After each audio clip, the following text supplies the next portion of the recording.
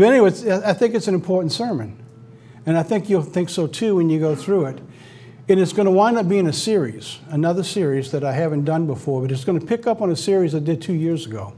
And I'm going to show you how God's leading and directing what I feel He's directing our work because he, is our, he is our leader. And we follow the gifts that God gives us and the understanding and the insight that He gives us. And I'm going to do that today. So let me ask this Does it look like America is deteriorating? My goodness, when you look around at all the, the problems that are going on, the continued lockdowns, and it's kind of, there's an irony that as we approach the July 4th freedom, that we're losing more and more of our freedoms, step by step, day by day, as we go. So, one of the greatest ironies of this time is the Lincoln Emancipation Statue. Now, if the issue really is, as most people claim it is today, then why is there a problem that you have to tear down the Lincoln statue? The man who fought for to help give freedom to all people equally. That it has to be surrounded by guards so it's not tore down. What an irony. I said, like, this is, this is absolutely insane. What are people thinking? But that's not where I'm going to be going today. I just want to show you the irony. So then I went into looking into the sermon as I began to develop my thought process to get into this. And I went back to a sermon I did a couple years ago. It was called America Under Siege. And I want to show you something how familiar this looked to the time we lived in today and the burnings, the rioting, and the looting. See this right here? See if this picture doesn't look familiar. Is that not ironic? Look at this, look at the flag, and look at that, and look at that flag.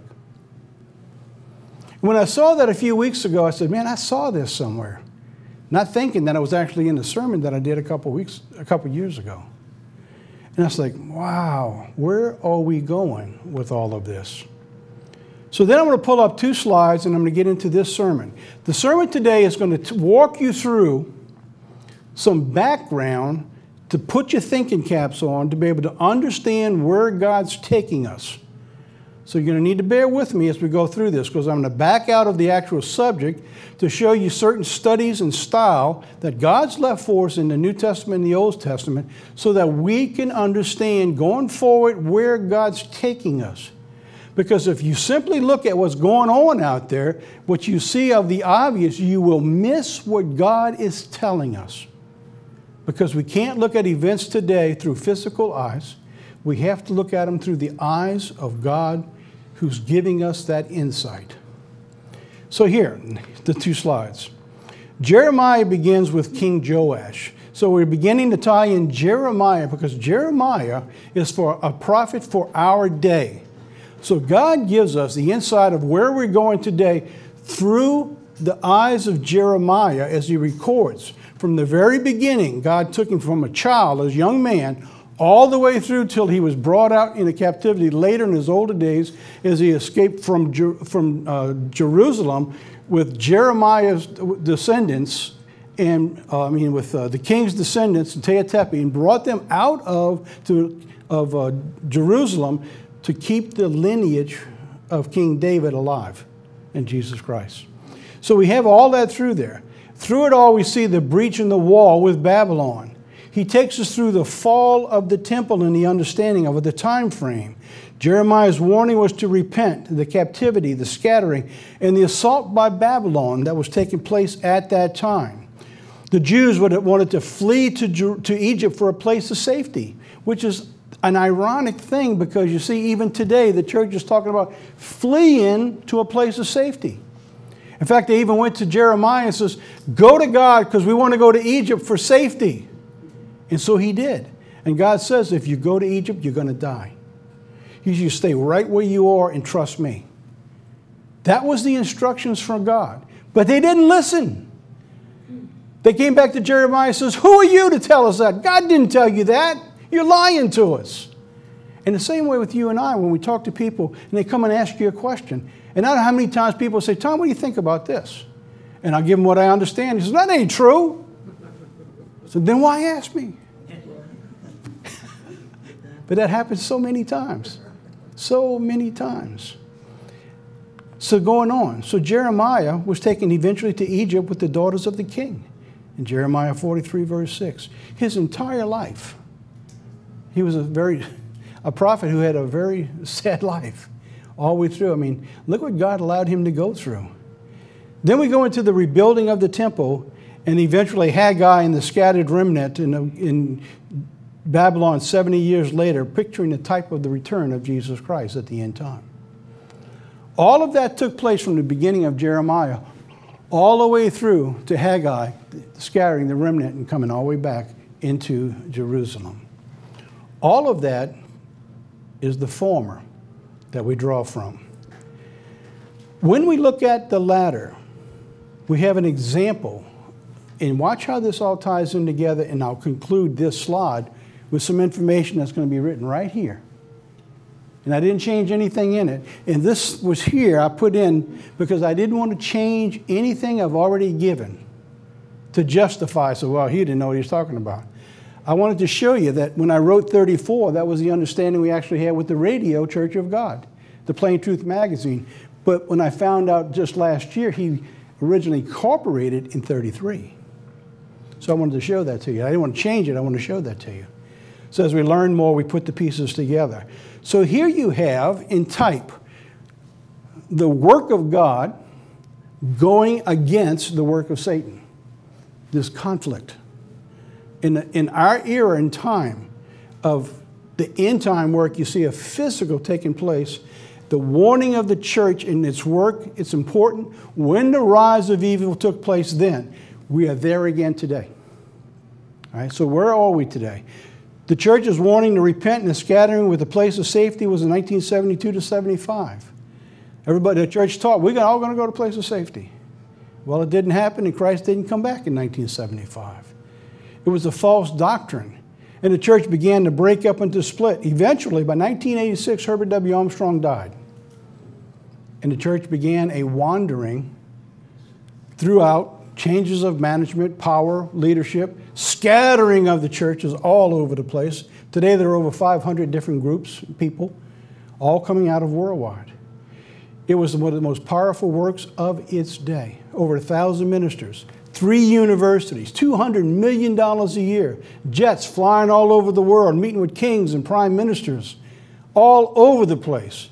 Even met with certain dignitaries in the, in the White House area I don't think he ever met in the White House, but he met with the Senate. In fact, many of the programs of the world tomorrow, remember where that uh, Art Mark, uh, Macaro used to say, the world tomorrow. You remember how that used to come across? Boy, when you knew that, man, your chills would come. They even have those in the archives in Washington, D.C., the World Tomorrow program. Then the fall of the church in 1995, where it becomes apostate, goes back into the world. Very similar to the time frame with Jerusalem and the Jews and Judea as they become apostate. The scattering of the work and the flock. And look where this look where I left off this series at. This is where we are today. The beginning of the return of the work of God. That's what I felt back then, and I think right now we're at this stage just before Satan's final siege. So we gave this sermon two years ago. How does it feel today? Does it feel like now we're entering into a siege? Locked down? Everywhere you go, you're surrounded by evil. No matter what you try to do, it just seems to be pushed down and, and the evil just seems to flourish and to arise. Violence everywhere. People can't talk to one another, can't disagree with anybody without fear of retribution. So the question was the concern was the remnant today. And so two years ago, I left off with this concept. So I believe we're at just before the beginning of the final siege of Satan. I think today we actually begin to move into that time of the siege of evil. So let's talk about that.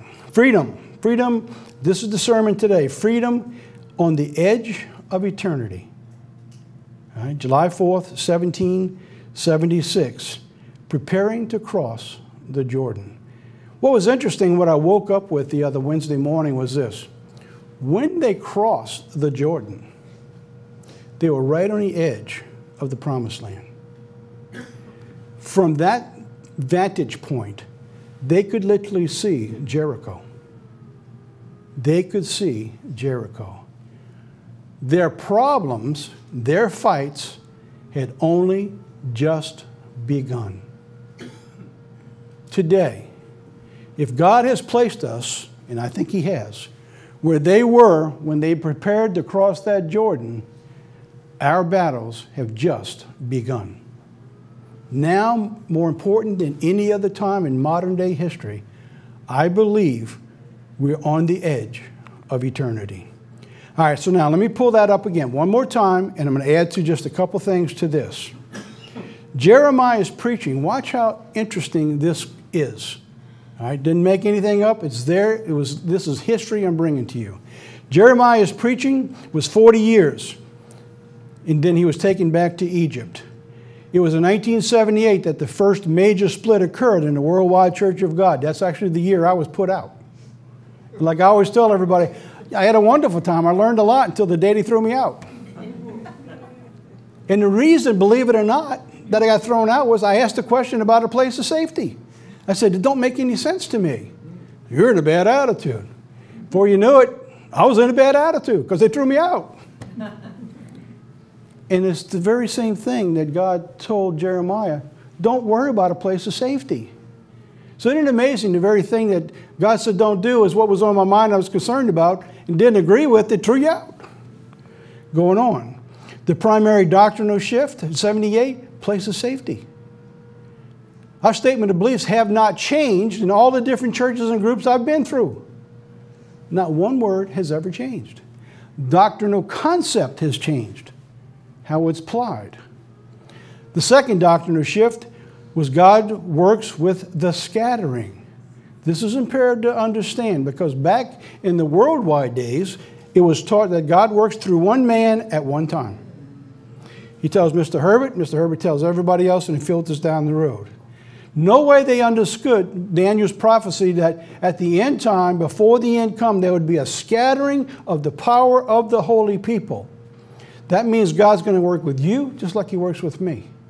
He has a mission, he has a, a purpose for all the different churches. It's for us to find out what our purpose is and fulfill it.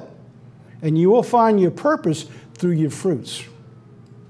You want to know what you're going to be doing and where you stand? Find out the fruits and gifts that God has given you are, and chances are God will use those as part of your purpose. I mean, there's a lot of people just more congenial than I am, happier and friendlier than I am. Remember Miss Annie? We had a lady here, Miss Annie. She sit at that door and she smiled all the time. The happiest person you ever knew. We found a job for her. She was our door greeter. Person come in the door, they went looking for Miss Annie. What a special person Miss Annie was. I mean, I just love that lady. Jeremiah, for 40 years, wandered from the, was warning from the beginning with the pastors back to Egypt. Today, the church has been 40 years in the scattering. When I gave this sermon in 2018, it was 48, 40 years from the first big break, 1978. That's when Herbert W. and Garner Ted split their ways. And now the church began this scattering. 40 years. It's interesting. How long did the children wander in the wilderness? 40 years. You think all this stuff is an accident? No. I think God laid it out. So why? So you can go back and you can look. Why? Because you need confirmation in your understanding of what God's doing. Otherwise, you don't know where He's taking you unless you understand where He's brought you. Going on. Now, let's begin to get into the sermon. But I'm not actually getting into the actual sermon yet because I need to give you the background for what I want to talk about. I'm showing you where God's leading us. Now, this is how you discern where God's taking you from where you understand you've been. All right? The edge of eternity had been 40 years. The children of Israel had come to the end of their wanderings in the wilderness. They were encamped at the edge of the Jordan River, waiting to cross. And when God calls them together, He gives them their instructions. Just like with you and I. When God told Joshua, He says, Listen, when you see the Ark of the Covenant coming, Follow the ark because you have never been this way before. Then God begins to give them their instructions. How about you and I? Where do our instructions come from? God says He's already given us all things that pertain to life. That means the instructions we need are already right here. That means we need to be able to understand what God has already given and apply that against the knowledge that we have today, against the events that are taking place today, to weed out what's nonsense and to weed out what is true. Otherwise, you're going to go crazy if you listen to everything out there. I told Audrey just the other night, I said, you know, I got to get away from this news. You know, I got to listen to news and stuff for news nuggets and insights, and I got to wade through it. But I'm going to tell you something. It wears your soul. Because, see, the principle of God says if there's anything good, think on these. Anything good, anything just. That means the principle is you don't dwell in all this stuff. But at the same time, part of the work of the watchman is cry aloud and spare not.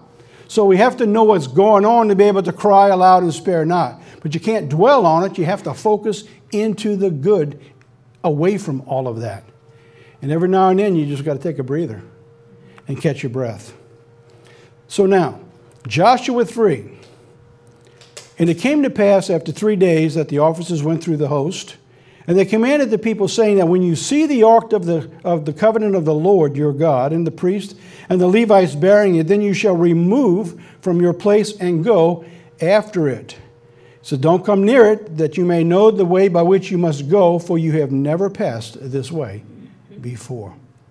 And so it is with us. As we wait instructions, the insight, the understanding, we have never passed this way before. We know where we're going. They knew where they were going. They were told 40 years ago, you're going to the promised land. You and I are going to the promised land. We call it the kingdom. Here's an important understanding for our day. All right, this is very important. By understanding what was happening to the Israelites then, gives us the understanding of what is happening to America today. When they crossed the Jordan, they stood on the edge of the promised land.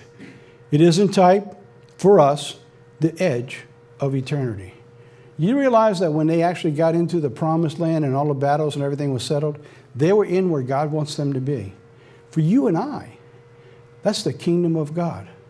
That means Jesus Christ has just stood on the foot uh, with his feet on the Mount of Olives, ushering in the thousand year reign, rule and reign with Jesus Christ. Never having to worry about, as Danny worked with, talked about his body, you know, want, want a good body, a healthy body. Well, we're going to have healthy spiritual bodies and be a part of reigning with Jesus Christ. Instructions you know, I don't know what it is with people today who read the Bible and you discuss things that you know are clear, and you read something and you say, well, that's not what the Bible means. Have you talked to anybody like that? Something really pretty clear. It's like, that ain't what it means. Oh, really? It's not? What does it mean? And then they'll give you this long explanation about it. We knows nothing about what it just said. Instructions. How do you receive instruction? Today, people don't want to be instructed on almost anything. Don't tell me what to do. And man, talk about asking people to repent, man, you really get under their nerves. The key to understanding God's instructions is that we must view them from God's mindset, not ours. Now that sounds simple enough, right? That's, that's what we're supposed to do. So what I want to do now is I'm going to show you what we see and then what we miss. And give you a couple simple little examples to show you what I'm talking about. Right? So now to get to that, let me give you a couple of background scriptures. God says, For my thoughts are not your thoughts, neither your, my ways your ways. And the Lord said, As the heavens are higher than the earth, so are my ways higher than your ways, and your thoughts than mine. You know, I just found out some the other day, someone I, I thought uh, very highly of says, You don't need to be baptized. So really, where do you get that? Out of the Bible. When you move further and further away from clear instruction, you all of a sudden you start making up things. You know, in Acts 2, it says, What must we do to be saved? Remember Peter preached the sermon? He says, You must repent and be baptized. Jesus Christ, who never sinned, was baptized. And how does somebody today, and people are saying that today, and it wasn't just this one person, I'm hearing it across the board. It's filtering through certain people's minds. You don't need to be baptized. Like, where in the world is that coming from? God gives us clear scriptures that help us to understand what it is that God wants us to know, and He has recorded them for us. So let's, let's get the example of 1 Corinthians. This is a chapter that's been left for us about the children of Israel. We think about this usually because of them coming out of Israel, out of Egypt, so we don't make the same mistakes, right? But it doesn't end there. It also goes into the promised land. That's the same process. They came out, they go in. All of that has been left for you and I today. So now we're at the process of them about to cross into the promised land.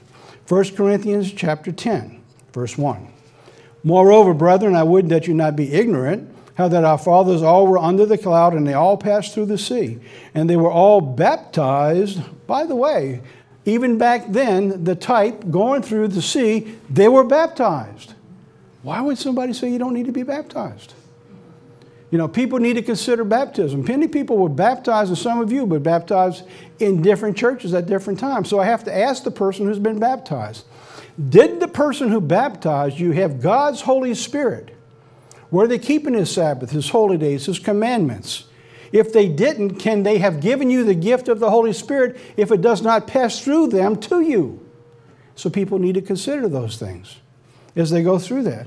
They're all baptized unto Moses in the cloud and in the sea. They all did eat the same spiritual meat. They all did drink the same spiritual drink, for they drank of that spiritual rock that followed them, that was rock, was Christ. But with many of them, God was not well pleased, for they were overthrown in the wilderness. Another parallel for you and I today. The worldwide church of God has dissolved. It has become apostate and went back into the world, back to keeping Sundays and Christmas and Easter.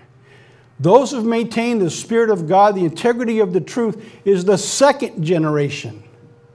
The first generation is gone. The children of Israel who are going through the promised land, they all failed with the exception of Joshua and Caleb. The ones going into the promised land was the second generation. Isn't that interesting that you and I, today, with the Spirit of God, is the second generation going in? Unless we think we're any better than those who went back, God warned Joshua through Moses. He says the second generation will do worse than the first generation. So, wow. So we have to fight and struggle to overcome the temptations of our own lust and our own desires so that we can hold fast to the Word of God as we go through these things. So, the insight for the Bible study.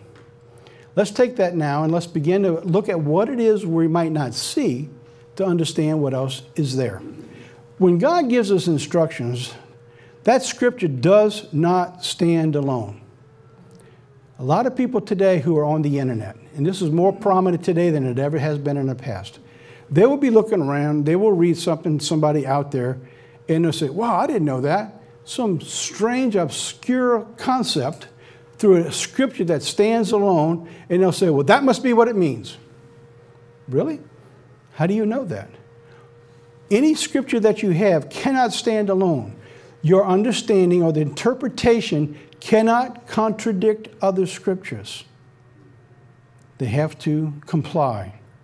2 Peter 1 20 knowing this first that no prophecy of Scripture is of a private interpretation. And I see this more and more as I travel with the Feast of Tabernacles. I go places where people be very excited and I want to share with you some understanding they just thought about. And, and immediately I'll hear it and say, whoa, it's not new, it's new to them. And quite often that, that new concept is a concept that's false. And it's very difficult to get somebody steered off that, they used to call that the idea baby and say, no, you, you can't. Then you'll bring up other scriptures. And the scriptures will contradict the new concept. And it's hard to get people to understand that. So if you're coming across an idea or a concept and it's very new to you and it's not being taught, you want to be very careful. You want to weigh it like Peter. I'm going to show you that Peter does in just a second. God gives us physical understanding to understand the spiritual. In most cases of prophecy, that pertains to the end time. God has laid out an Old Testament physical example to draw from. All right, let me, let me explain that again. For God to understand something we've never seen before or where we're going, for our minds to pick the concept of what he's doing, he's giving us something in the Old Testament to draw from to give us the, the confirmation of where you're going. That usually does in almost every case of prophecy. I won't say every case, but every case that I've dealt with so far, it has, of importance of salvation. Right, some things don't need an Old Testament if there's just understanding. And from, from what it now appears, and this is, this is Tom throwing this out, so I don't just say this is scripture, but from what it appears now, that in modern day, there's also a modern day, in the last within 100 years, I say modern day, there also appears to be a physical alignment to the end time spiritual understanding. In other words, what we've seen in the Old Testament, you also see a type of that same thing in the physical in the New Testament. We have been going through that for the last seven years. I won't say that it's true in all cases, but it appears that it is. And I don't know for sure because this is, this is something I never dreamed that was taking place years and years ago. All right, so now, why am I telling you all of this? Let's, let's go into this now. Moreover, brethren, we, we did not be ignorant that our fathers were under the cloud, they all passed through the sea. Verse 6 they were our examples. Why am I telling you this? Because God says, listen, these examples are for you guys, to the intent that we should not lust after the evil things as they lusted. In verse 11. Now, all these things happened to them as examples, and they are written for our admonition. In other words, what God has wrote down, the stuff in the past, and why we have it, so that we don't make the same mistakes. It's pretty important. That's pretty important for what's going through there. So now, understanding that God has preserved for us, right? the duality of these events. That when God leaves you a scripture that specifically instructs you so that you don't make the same mistakes, what is that telling you?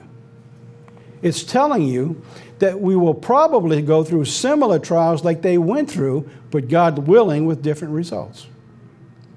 Why would He tell you? Why would He leave that? He says, Look, those are your examples because you're going to go through the same thing. We're going to go through the promised land. We're going to do a crossing of a Jordan in type, going through there. We're going to have a struggle. We're going to have to go against a Pharaoh, against an evil world an evil empire to get to the promised land. We're actually going to have to go through looking at that distance, that, that Jericho. Let me, let me tell you this. I'm going to bring this in in the next couple weeks if you've never seen this before. When you look at the walls of Jericho and you look at that mighty city, it pulls in revelation. Now, think about this if you haven't seen it. It's been a series I did many years ago, so I'm going to start all over again with this. What they saw was, and when they went around that city every day for seven days, remember? And they would remain silent, right? The first seal, one day. The second seal, day two. The seventh day, they went around seven times. And on the seventh seal, there's having the seven trumps and you listen to, and they all raised their voices, and the wall came down like the time of the earthquake at the very end. What they were looking at was not only the Jericho was up there, they were looking at, and God was showing us that you and I, on our turn, standing at the edge of that sea, they're looking at the seals right ahead of us. And you know what? We can see them now. I couldn't have gave you this sermon six months ago. I think we're within eye shot now of God beginning to bring about his seals over the next couple years. I don't know if it'll be next week, next year, two years, but I'm thinking very, very close. Because you see, they didn't go attack that city right away. If you read it, it's at least like six months that went by before they actually went and attacked the city. But they could see it. And you and I can see now. When you look through COVID, what are we looking at? Man, we're looking at a type of the seals staring us in the face, giving us a wake up call. So, for example, they were headed to the promised land. You and I are headed to the kingdom. They were the type, the former, the physical. You and I, or the antitype, the fulfillment, the latter, the spiritual. The, the, the typology and the analogies are unmistakable. So God says, I'm leaving you Corinthians because I don't want you to make the same mistakes because you're going to go through similar problems that they went through. They knew their greatest battle was ahead. 40 years earlier, the spies went in, and only two said, We can do this. All the rest said, We'll never make it. What about us? You don't have a choice whether you realize it or not. We're on the edge of that promised land. And you don't have a choice to go back. There's no turning back for us. It's we make it through the kingdom or you fail. It's that simple. So let me give you an example. Let me show you how this works so you can pull out things that is that you always want to say, well, what is God telling me? I, I usually ask that. I always, you notice in my sermons, I ask a lot of questions. That's how you find your answers. You have to ask the questions, then you have to give God lead you. So let me take something we know and show you how this works. Acts 2, verses 1 and 2. So when the day was fully come, there was a sound like a mighty rushing wind, and everyone spoke as God gave them inspiration. And the people there had followed Jesus' word, and they were told to wait in Jerusalem for the promise. And they were there. So on the day of Pentecost, this mighty rushing wind, and we know the story, and the Spirit came down and sat on them like, like clothes of fire, right? So everybody in that room was like that. They're all speaking with inspiration. Look at verse 4. So, being assembled together with them, they commanded them that they should not depart from Jerusalem, but wait for the promise of the Father which you have heard from me. That was the previous chapter. So they were told, don't go anywhere but to wait. So they had followed the instruction, and there they were, and they saw the Spirit, and they began to speak with tongues as God gave them utterance. So what did Peter do? When he seen that, what he, did he do? He preached the first inspired message in the New Testament, and that day brought 3,000 people to repentance. Powerful message. That is what it's seen. But what did Peter do before that? You won't find it written. What is not seen that Peter did? It's not written, but it's staring us in the face. Let me show you how we read over things rather than seeing maybe what God really wants us to see until we skip over things. Because, see, Peter's actions are an example and a pattern that we are to understand if we're going to use them for our day, if we're going to understand what God is showing us. You have to see beyond what you're looking at. Anybody can see what's physical standing you in the face. It's what God wants you to see that the world doesn't see that's important right? Look at Mark 4. So he said unto them, Unto you is to know the mysteries of the kingdom of God, but to them that are without, all these things are done in parables. So the rest of the world won't know. You know, I was talking to a gentleman right before church, and he was talking about his family, and I said, Listen, we all understand that the families can't understand until God opens up their minds. Doesn't matter, we do what we have to do anyway. Seeing that they may see and perceive not, and hear they may hear and not understand. All right, so now back to the question. What did Peter do before that that is not seen? He searched the scriptures for understanding. He searched the scriptures for understanding. How do we know that? Proverbs 3 5 says this Trust in the Lord with all your heart and lead not to your own understanding. They had never seen this. They were told to wait for the promise. When it finally happened, everybody was con con confused and they all began to speak in different tongues, and it was crazy. People said, These people must be drunk, right? But Peter didn't go that way. In his mind, he didn't lean to his own understanding, he sought the scriptures out. But Peter, standing up with the eleven, lifted up his voice and said, You men of Judea, and you that dwell in Jerusalem, be this known unto you, and hearken to my words, he said. For these are not drunken, as you suppose, seeing it is but the third hour of the day. But this is that which was spoken of the prophet Joel. So what did he do? When we see something today, we do just like Peter did. You reach your mind into the scriptures and you see what God has said about this. So he went back to the prophet Joel. And it came to pass in the last days, he said, that I will pour out my spirit on all flesh, and your sons and your daughters shall prophesy, and your young men shall see visions, and your old men shall dream dreams. So he reported to them and gave this powerful sermon. And he read, everyone in that room had the gift of God's Holy Spirit speaking in tongues, which is actually uh, different languages, for in case people are wondering. So God granted Peter the gift to see what the others in the room could not see or discern. So he shared that with them. So now, that was the gift like that of the prophet Daniel, to be able to discern prophetic events. I brought this concept out last week in the sermon on propaganda. Remember? It will tell you it's the gift that the church has to have in the end times to be able to know what's going on. Daniel saw and understood events to take place in the future. God gave him the understanding of the wisdom to prophesy events that were going to happen down the road. Peter saw the events foretold by the prophets in the present. So for you and I, we have to be able to look at the scriptures that are foretold to see what's going on today, to see them in the present. That's how we discern the current events in light of prophecy. That is the gift that God's blessed us with to be able to share with our church in the news, nuggets, and insights. It's an incredible thing that God has blessed us with in our church. This is the gift God prophesied to give to the elect in the end time. Not just us, but anyone God will give to all his people. Right here. See visions, dream dreams. So we have that understanding. They have to be interpreted against God's holy word. So now I'm going to take it one step further. That's what's seen. What is not seen?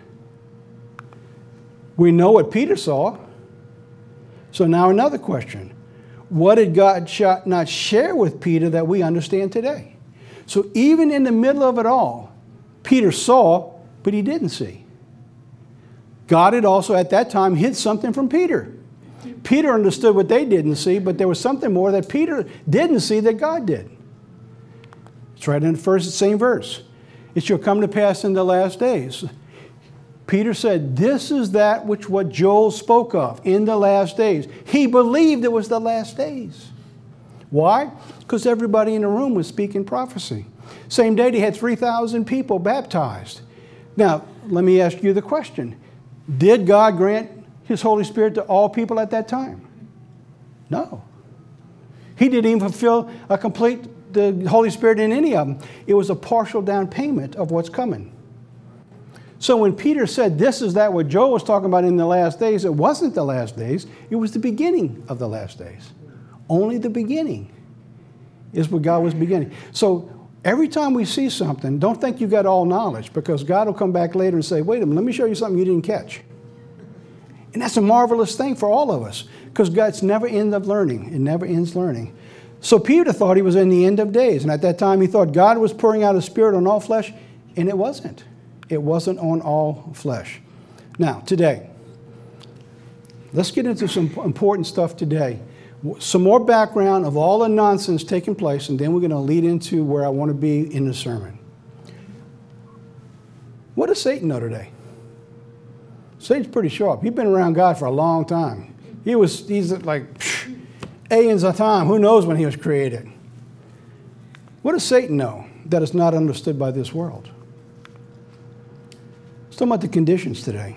What in the world is going on when you think about this? Rioting, burnings, lootings, white supremacy, big argument, BLM, Black Lives Movement, cultural replacements, government removal, police, defunding, shut down authorities, Authority replacement. So, what are we looking at all here? What does Satan know with all of this going on? Better yet, what has he orchestrated through all of this? The pandemic, pandemic was the kindling. George Floyd was the match. Satan created the environment. In fact, Bobby was talked about that briefly in his, uh, his uh, announcements, is to keep things turned up. So you keep things turned up, people are at unrest. They never, they never know what's coming next, so they're always on the edge of what's going on. And when you do that, you can usually stir people around, move them where you want them to go to. So let's take that now and let's see where we're at today. The question was what does Satan know that we don't know? That the world doesn't understand? All of this has one thing in common. Every one of those things, its roots. The roots are God's covenant with Abraham. Why is that important? Because you see, we're standing on the edge of eternity. The next step, Jesus Christ comes back. It's going to be a real mess between now and then. And so Satan's trying to do everything he can to destroy God's plan. Because people today don't know who America is. Believe it or not, it's one of the simplest things because you don't know who you are. Even Isaiah says, My people doesn't consider. They don't know who they are. The ox knows. Even the animals, they know. He said, But my people have no clue who they are. Isn't that amazing? America is, they, they cannot understand the problems that are taking place right now because they don't know who they are. So, what does Satan know? That is not understood. I'm going to ask that a couple of times as I go through this. Our answers are found in God's instructions that tells us why we're having the problems today. Look at Numbers 33, 51 through 53. And tell me this doesn't look like America today. You ready? Speak to the children of Israel and say to them, When you passed over Jordan into the land of Canaan, then you shall drive out all the inhabitants of the land. What are they talking about with uh, Christopher Columbus? How dare him come and run everybody out of this country? Right? How about drive all the inhabitants of the land? Destroy all their pictures, destroy all their molten images, and pluck down all their high places. Then dispossess the inhabitants of the land, remove them, get them out of here, and dwell therein, for I have given the land to possess. Now look at, look at the disruption that's going on here. That is, that is telling you what's going on in America today.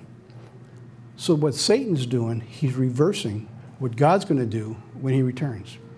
He's reversing what God told the Israelites to do when they went into the promised land.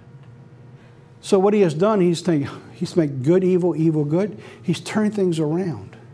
So the people today are playing right into the hands of Satan to do what God is going to do to him. You with me on this? Because now let's, let's walk this through now and show you how it plays out. Does God have the power to remove everybody? Does God have the authority to do that? Really? I actually got called from a friend of mine, a good friend of mine, a couple years ago, or a year ago now, and he was all upset because of, of the, the, the, the white people coming into America and removing all the Indians. He says, That's not godly. He says, God would never do that. And we actually got into an argument. I said, Are you, do you hear yourself? I said, What do you mean God will never do that? I said, Have you ever heard of the promised land? I said, What do you think God's going to do when He comes back to this planet? And, and it could not get through. Going on, Leviticus 25, verse 23. Look what God says The land shall not be sold forever, for the land is mine. God owns this planet. He created it all. He has the authority to do what He wants to do. You got a problem, you don't like it, take it up with Him. Because that's God's word. Let's go on now show you how this goes through. There's those three scriptures again, so I'll pull them back up again. I'm going to show you how this applies now. Look at today riots, burnings, lootings, the white supremacy, the BLM, culture replacement, government, police, authority, all these replacements. Why? Because that's what God's going to do. There's not going to be no black and white with God. We're all equal. Whether people like it or not, we're all equal in God's eyes. Yes, there was a physical Israel, but that all changed when Jesus Christ came with the new covenant. In God's eyes, there is no black and white. We're all the same people. Satan doesn't want it to stay that way. And so he stirs up the weak on both sides. Same thing Hitler did. When they're about to take over a country, what did he do? We talked about it in News Nuggets last week. He sends in his agents to destroy and to create problems, find the weak zones, stir them up, and then move in and destroy. You're in the middle of that right now with Satan. So let's go on. I'm going to keep working in this concept so we can get through this. Government, police, the authority. So what are we looking at here? Look at Daniel 5, Deuteronomy 5. Moses called Israel and said to them, Hear, O Israel, the statutes and judgments which I speak in your ears today, that you may learn and keep them. Chapter 4, verse 6 through 8. Keep and do them, for this is your wisdom your understanding in the sight of the nations, which you shall hear all these statutes and say, Surely this great nation is a wise and understanding people. The rest of the world has grown to hate the United States, who have kept God's laws and God is blessed. Going on. For the nation, what nation is there so great that God has brought so nigh unto them is the Lord our God in all things that we call upon him for. In verse 8. In what nation is there so great that has statutes and judgments so righteous as this law which I set before you this day? You know, God says, You keep my laws, I'll bless you. He says, I will make you a great nation. I will bless you beyond all people. And Satan says, that can't be. That's not fair. That's not right. But all people who turn to God, God will do the same thing. But they, people just seem, seem to want to understand. All right, now let's take it one more, one more step. Let's move all those things and bring this down together. Let's look at what we're looking at. Tell me that doesn't line up. That is actually what's going on in America today. That is the roots of the problems that we have today. Why? Because they don't understand the foundation from where it all comes from. And it is amazing that even Bobby in his announcements used the very same thing that I said here. I said, wow, maybe I just let him do my sermon today. Because he knows he has but a short time. Satan knows he has but a short time. So he's going to continue to bring things worse and worse. So I believe we're entering the final phase of Satan's attempt to do that this world was going to happen to him. I really believe that's where we are right now. So the time of eliminating the hat, look at Hitler, his final solution. The final solution was a policy of the Nazi Party to deliberate of a deliberate and systematic genocide of the Jewish race. Why did he go after the Jews? Because Satan knew that there was going to be a Jewish nation. God was going to establish his nation. And so he had to go destroy those that God was going to use to establish that nation. All right? Adolf Hitler's clues was the ambition was the genocide, believe it or not, as early as 1922. He told a journalist, once I'm really am in power, my first and foremost task will be to the annihilation of the Jews. In 1922. When he came to power in 1933, what was the first thing he did? Began to destroy the Jews. He didn't keep it a secret. Look what's going on with the type of violence today. The people out there creating the violence, they're not hiding what they're doing. Nobody wants to listen to believe that they're doing it. They got their part of what they're doing, and nobody wants to listen to them. They didn't listen to Hitler. Look at here. Satan knew that it was God's plan to use the Jews to establish the physical nation of Israel. And we brought that out through Isaiah 66 and verse 8, that the physical nation of, of Israel. His final solution. The, the, the latter would be the spiritual, Isaiah 66, the latter part of the verse. Satan also knows he, he will establish his nation when Christ returns in what it is this world does not know. So who's he going to go after? Right? The Israelites. Because we don't know who we are, we don't know who the Israelites are.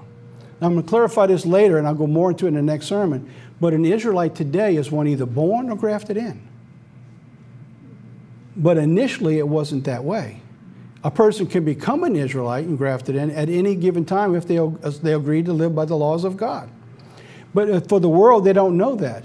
So, who are they? Who does the world think they are? What people are becoming the most hated people on the face of the earth? The white race. Did I shock anybody? Bear with me here because it's not about white, it's about heritage. The world sees the white race simply as those out of Europe. Satan knows that they are the ancestry of Israel. All right? Look at this. Shaun King, white civil rights activist, said, The white Jesus must go. Mr. King said regarding support for tearing down the images of Christ, all murals, stained glass, windows of white Jesus and his European mother and their white friends should also come down. That's all they understand. They don't realize it's not about white, it's about heritage. That's why Satan is trying to creep this thing over and over and over again. They created the tools of oppression, racism, propaganda, they all to come down, he says. So now, who is America? It's God's covenant with Israel. That he says, I will make you exceedingly fruitful and among the nations, and the king shall come out of you, he said. He says, And I will establish my covenant between me and you and your seed after you in their generations for everlasting covenant to be a God to you and to your seed after you. This is true for every man, woman, and child on the face of the earth today. It's for everyone. That, that has been opened up through Jesus Christ. And I will give you and your seed after you the land wherein you are a stranger, the land of Canaan for an everlasting possession, and I will be their God. So, so that's what the promises were, and that was the covenant that God gave to Abraham. So now, what about this going on here. It's not about white versus black. It's not about white privilege. It's about the manifestations of the fruits of a spiritual warfare that's taking place right in front of our very eyes. That's what we need to understand where this is coming from. Who has created all of this? And why does it never settled? Do you know that, that uh, the problem between races have been almost 6,000 years? It will never settle down till the people's hearts are pure. And I don't care what race you are, it's on, it's on every side. It's white, red, black, blue, purple, green, yellow, orange, you name it. It's in a man's heart but when they don't understand things. So in Deuteronomy, God said, You're a holy people, He told God's people. He said, God didn't set His love on you or choose you because you were more in number than any other. He said, Because you were the fewest. It's simply by choice that God chose Abraham through Isaac and through Jacob. Now, I'm going to have more to cover in this area. I think I'm going to come back to it next time, so I'm going to skip past this. But what we're looking at is the manifestation of the fruits of a spiritual world that are being brought out into a physical world, manifested through the problems that we face today. The true issues are lineage, heritage, genealogy, family, God's kingdom versus Satan's. And Israelite is won through two different ways through race and through grace. It's that simple. But until this world understands where they're going, You'll never get it through their head. It's not about lineage and white privilege and Deuteronomy. It's about the promises that God says. I'm going through this. I think there was a duplicate slide there. So now, Jacob, we know the story of Jacob. All right, Jacob's name was changed from Jacob to Israel, just to give you the background to it. Jacob's name was given to Joseph's sons, Ephraim and Manasseh, the United States and Great Britain, who are Israel today. The world has no clue. And I don't have time to go through that today with you, but that's who we are. Why do we have what we have? Because we're the promise of the, the, the progenitors of Abraham, Isaac, and Jacob. Even in, in 2 Samuel, when God spoke to David, he says, Moreover, I will appoint a place for my people Israel. He's telling that to David, who's in the promised land. He says, he says, and I will plant them. In other words, he's going to move them one more time. And when you look at, at uh, uh, Genesis, you see the promises that God gave, the blessings to uh, the sons of Joseph. There's only one nation fits that the United States. And that's where we are today. So I'm going to I'm going to pass through these because of time, and I will come back to them in next time. I didn't realize I put that much in here. So now, let's get back to this. So now we actually, believe it or not, we're ready to begin the sermon. So, what I need you to understand is that when you look at what's going on in the world today, you need to look beyond that. You need to grab each one of us and give each one a hug and say, listen, it isn't about us. It's about a spiritual world who's trying to destroy God's plan. That's where all of this is going. And He's going to use every single person He can to accomplish His goal if he is able to. So now, the children of Israel, they're on the edge of the eternity, is where we began the sermon today. It had been 40 years that they had walked the wilderness. The children of Israel had come to the end of their wanderings in the wilderness. They were encamped by the edge of the Jordan, waiting to cross, when God called them together to give them their instructions. They stood where you and I stand today.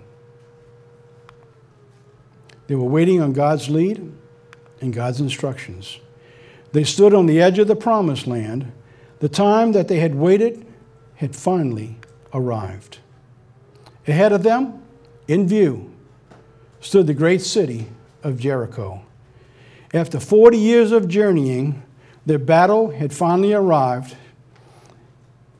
and if they were ever to have true peace, they understood that the land that they had to be conquered and the people had to be driven out.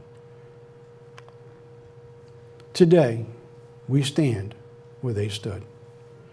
If you and I are ever going to have peace, we're going to have to be able to look beyond what you see today to see what God is revealing to his people, not to be entrapped in what's going on in the world, but to come out of the world so that we can look beyond where God wants to take us. If you can't do that, you will not make it to the promised land. Why did God leave us 1 Corinthians 10? So that you and I will not make the same mistakes. Because it's going to be very easy to pick sides. And that'd be the wrong thing to do for anybody. We stand on the edge of eternity waiting for our instructions. So now, I want to stop there. I'm going to pick up next week because I want to get into the battles that lie ahead. See, the battles that we're going to have to fight, they're spiritual battles. What we're looking at today is just to keep us distracted from the true meaning of our calling. So I'm going to stop and I'm going to leave it there and I'm going to close with just two little short videos that we normally, I like to play. It's a total of six minutes for, for the both of them. The first one's going to be the Pledge of Allegiance by Red Skelton way back. So if we're ready, let's play that video and then we'll come back and play the second. I remember a teacher that I had. Now I only I went I went through the seventh grade. I went to the seventh grade. I left home when I was 10 years old because I was hungry. And I used to, this, is, this is true. I work in the summer and I go to school in the winter. But I had this one teacher. He was the principal of the Harrison School in Vincennes, Indiana. To me, this was the greatest teacher, a real sage of, of my time, anyhow. He had such wisdom. And we were all reciting the Pledge of Allegiance one day. And he walked over, this little old teacher, Mr. Laswell was his name. Mr. Laswell. He says, uh, He says, I've been listening to you boys and girls recite the Pledge of Allegiance all semester, and it seems as though it's becoming monotonous to you.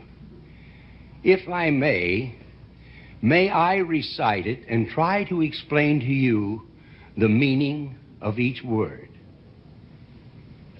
I, me, an individual, a committee of one, pledge Dedicate all of my worldly goods to give without self pity. Allegiance, my love and my devotion to the flag, our standard, O glory, a symbol of freedom. Wherever she waves, there's respect. Because your loyalty has given her a dignity that shouts, freedom is everybody's job united.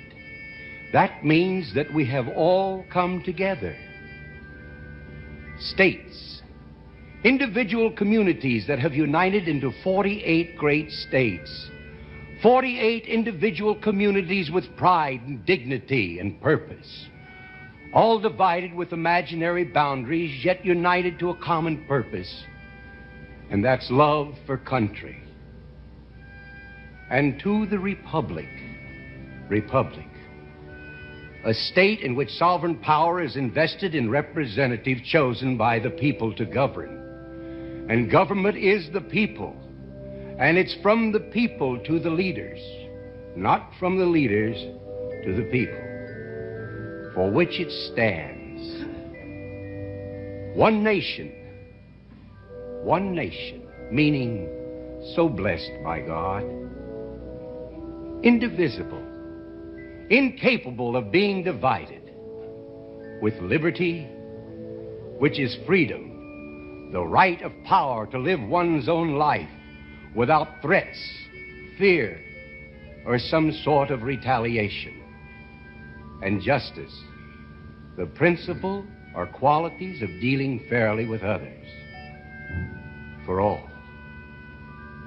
For all.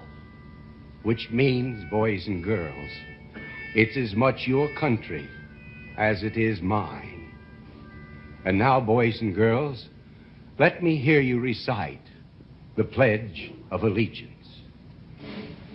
I pledge allegiance to the flag of the United States of America and to the republic for which it stands, one nation, indivisible, with liberty and justice for all.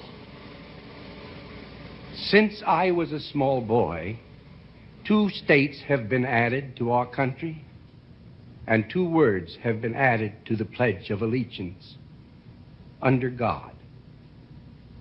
Wouldn't it be a pity if someone said that is a prayer and that would be eliminated from schools too?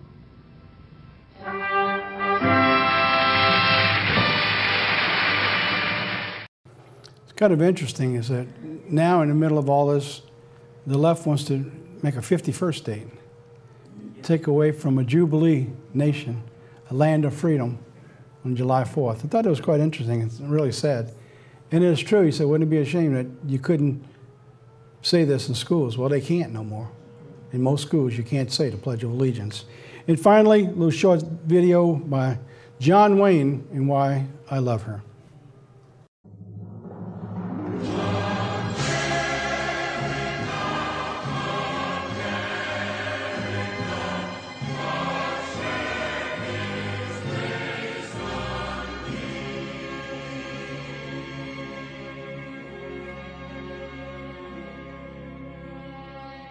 Ask me why I love her? Well, give me time and I'll explain. Have you seen a Kansas sunset or an Arizona rain? Have you drifted on a bayou down Louisiana way? Have you watched the cold fog drifting over San Francisco Bay?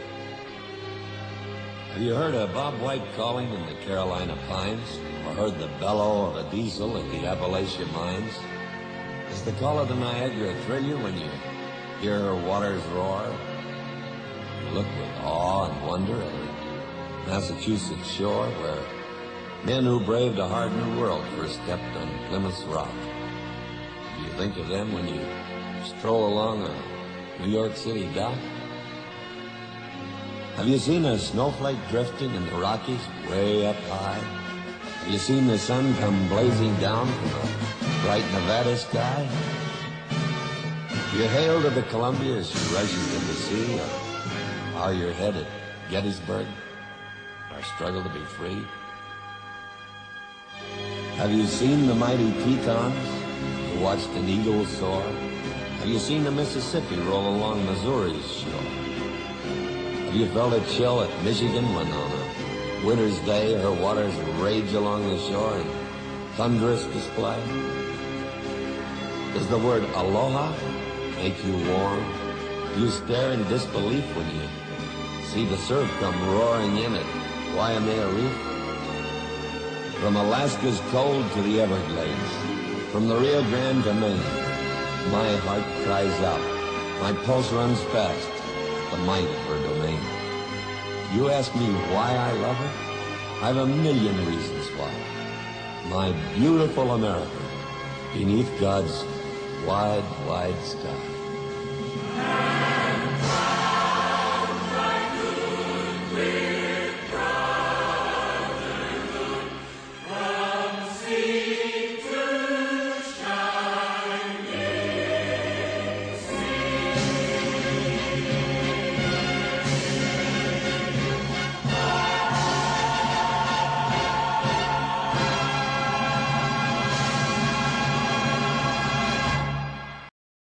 A lot of what you saw in that video will be destroyed before Jesus Christ returns. But I want to tell you, we're here to usher in the kingdom of God. In a thousand years, we're going to put it all back together. It's going to be more beautiful around this entire planet than it's ever been in modern times. It'll go back to the way it was that God created it. And you and I are ready to be a part of that calling. You and I stand on the edge of eternity. Have a great fourth. Hopefully, you can tune in next week when we have Chuck Baker in town, and I'll be talking to you in just a few more weeks.